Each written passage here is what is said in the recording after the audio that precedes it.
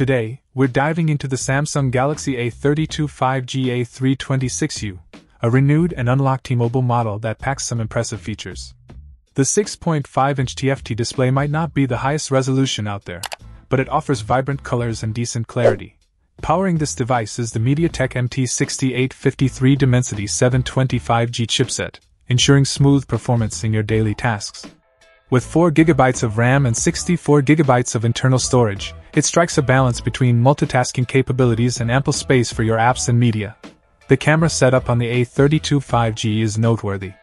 The quad rear cameras, including a 48MP wide lens and an 8MP ultra-wide lens, deliver versatile shooting options.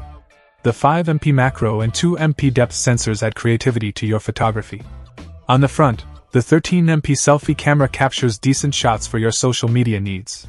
Running on Android 11 with One UI 3.0, the user interface is intuitive and customizable.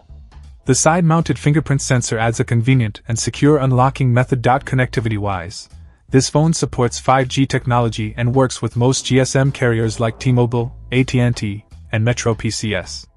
However, it's essential to note that it won't work with CDMA carriers such as Verizon, Cricket, or Boost.